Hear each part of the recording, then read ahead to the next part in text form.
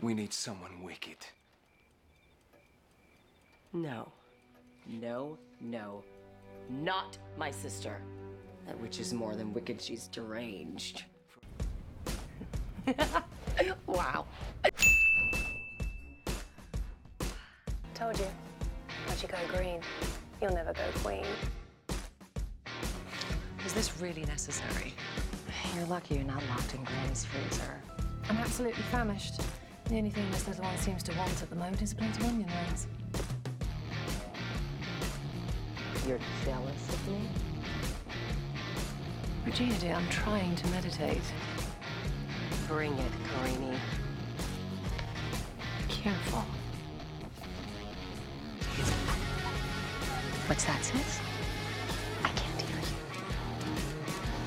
How do you expect me to become mother material if you won't leave me be? If it makes you didn't enjoy it. You know, I'm not sure what you see in him. You know, you can still deliver a baby without a tongue. Enough. Be quiet and listen for once in your life. Gina! Robbie, come on in.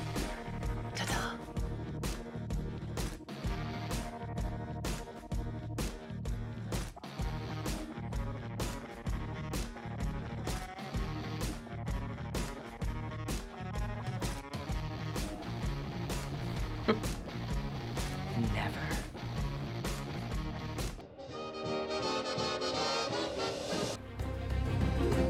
What do you want? Just because you made one bad move or 30 doesn't mean you can't make a good one now.